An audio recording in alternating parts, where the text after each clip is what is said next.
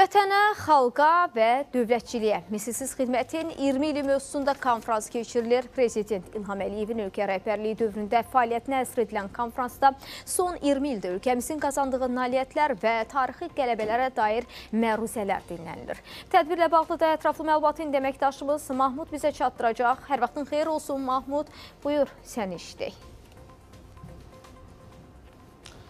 Hər vaxtınız xeyir olsun Vəfa. Sizin də qeyd etdiyiniz kimi bugün Gülüstan sarayında baş nazir Əli Əsədov, eyni zamanda prezident administrasiyasının rəhbəri Samir Nuriyevin həmsədrliyi ilə vətənə, xalqa, dövlətçiliyə 20 e, misilsiz xidmətin 20 ili mövzusunda konfrans keçirilir. E, konfransda baş nazirin müavinləri, komitə sədrləri, eyni zamanda nazirlər, e, millət vəkilləri, Milli Məclisin üzvləri və digər rəsmi şəxslər iştirak edirlər.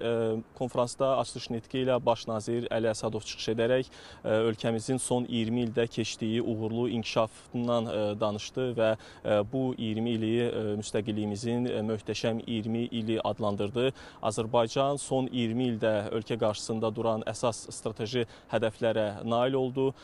İqtisadi göstəricilər yüksək səviyyədədir.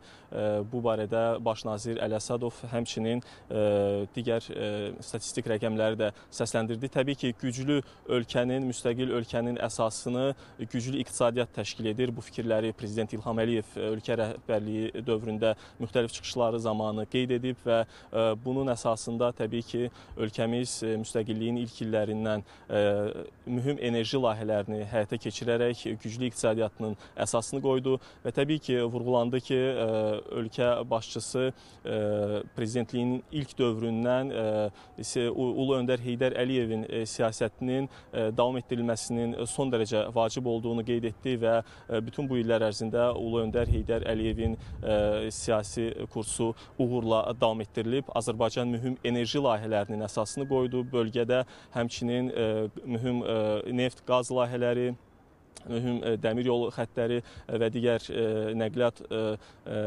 qovşağı, nəqliyyat arteriyaları layihələri həyata keçirildi və bu gün ölkəmiz demək olar ki, bölgədə əsas nəqliyyat qovşaqlarından, nəqliyyat xablarından birinə çevrilib və bölgədə söz sahibidir.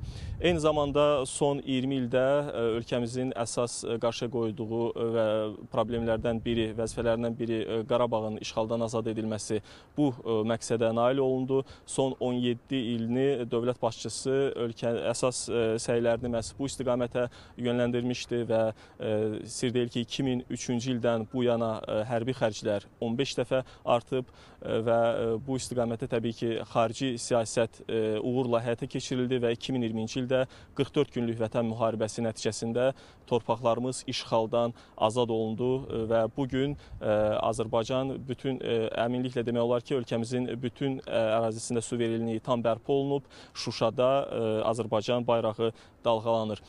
Qeyd edim ki, Baş nazir Əli Əsədovdan sonra konfransda Prezident Administrasiyasının rəhbəri Samir Nuriyev, həmçinin Yeni Azərbaycan Partiyasının sədrinin müavini Əli Əhmədov, eyni zamanda Xaricilər Naziri Ceyhun Bayramov və digər rəsmi şəxslər də çıxış etdilər və xüsusilə son antiterror, lokal antiterror tədbirləri qeyd olundu və bu cəmi 24 saat ərzində lokal antiterror tədbirlərinin uğurla həyata keçirilməsi bir daha son 20 ildə ölkəmizin uğurlu inkişafının göstəricisi idi. Uğurlu dövlət quruculuğunun, ordu quruculuğunun bir nümunəsi idi. Bu gün e, işğaldan azad olunmuş ərazilərdə Şuşada, Füzulidə, tək e, Şuşada, Cəbrayılda, Füzulidə, Zəngilanda, Laçında deyil, eyni zamanda Azərbaycan Xankəndidə, Ağdərədə, Xocalıda, Xocavənddə artıq bundan sonra öz suverenliyini bərpa edib və yenidən qurma və bərpa işlərinə e, başlayıb. Mən qeyd etmək istəyirəm ki, konfrans çərçivəsində həmçinin 2020-ci e, ildən bu yana işğaldan azad olmuş ərazilərə e, nə qədər vəsaitin ayrılmasına bağlı məlumat verildi. 7 milyard ABŞ dollarının e, təxminən civarında quruculuq bərpa işlərinə vəsait ayrılıb və gələn il isə 4 milyard ABŞ dolları həcmində işğaldan azad olmuş ərazilərə quruculuq bərpa işlərinə vəsaitin ayrılacağı açıqlandı. Həmçinin bildirildi ki, bu günədək 2020-ci il 2022-ci il 19 iyul tarixindən bu günədək işğaldan azad olunmuş ərazilərə 679 ailənin köçürülməsi və orada məskunlaşması tam təmin edilib və bu proses ilin sonunadək davam etdiriləcək.